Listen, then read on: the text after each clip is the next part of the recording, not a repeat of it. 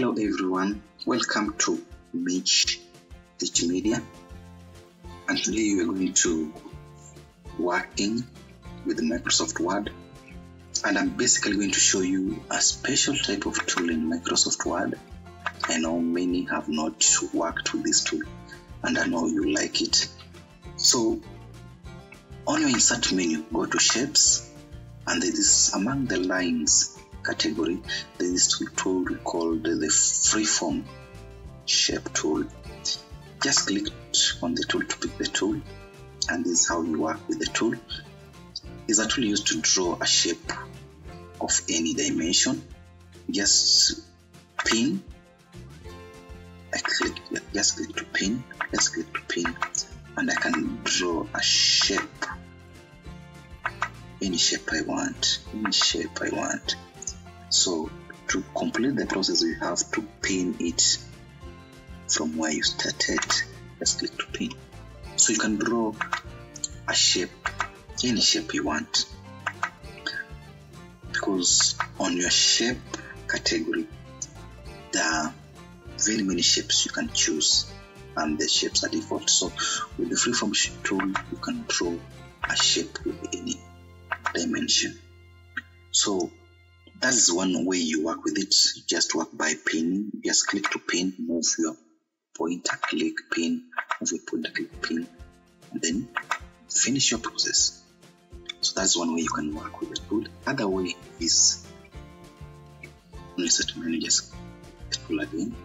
You work by dragging. You click and drag to draw any shape. Just draw anything. Draw anything. Draw anything. I just finish by moving. That one was not perfect, but this how it is. Just click and drag, drag, and end it started. And there you have your shape. You can still format this shape. Just click on the shape, go to format menu, and fill the shape with a different color, black, white, yellow. So that is the freeform tool. It's a very nice tool to work with if you want to draw a shape. And I'm showing you this because if you check my tutorials on exercise number three, there's a shape. You may wonder what should I use to draw that shape. But check on my tutorials exercise number three.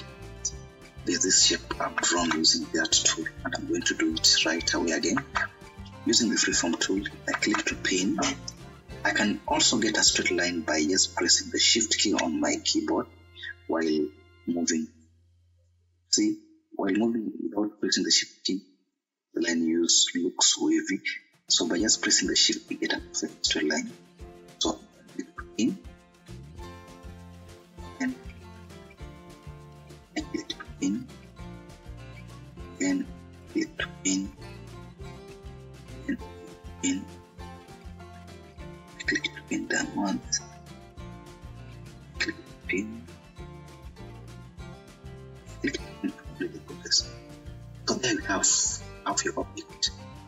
So I can easily again refine this object to look more nicer with more rounded corners. I don't want these sharp corners. So how do I achieve that click on the object, right click, then choose edit points. So I now have all the points I used to join this shape and I can easily move the points to something perfect. I can easily move the points to where I want. Just point, then click and drag anywhere I want. So just point, click and drag then I can make these points more smoother by just click on this, just point on the point, just take on my mouse pointer, it changes on the point on the black points, right click, let's say smooth point, and then using this, I can easily refine it into a very smooth point, the same way you work with the graphic design softwares they have tools to achieve this So we wanted to see how we can achieve this in Microsoft Word, can simply the point.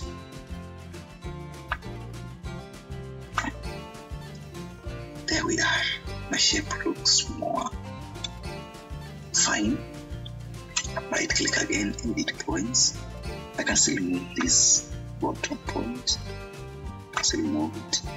I can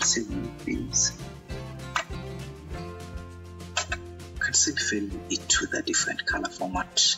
So you can click on the tool, to format menu, shape fill, can fill it with black color. There we have. We can still size our shape, just point on the edges, you get a double-sided arrow. And.